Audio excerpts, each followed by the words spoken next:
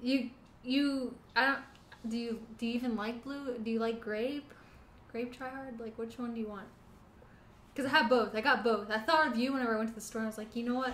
He might want grape. And then Trihex sinks himself, monologuing internally with his thoughts out loud, where no one else can hear him. I must make a decision right now.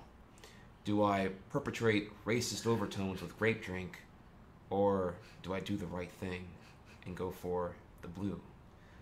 Do you do I become PC, or do I reinforce the tropes? I Must make a decision right now. And I choose. Shit, girl, me hold that great drink, girl. Let me, let me see the thing right here, man. This shit look, this shit look good, baby. Let me hold that. This shit good? this shit good though?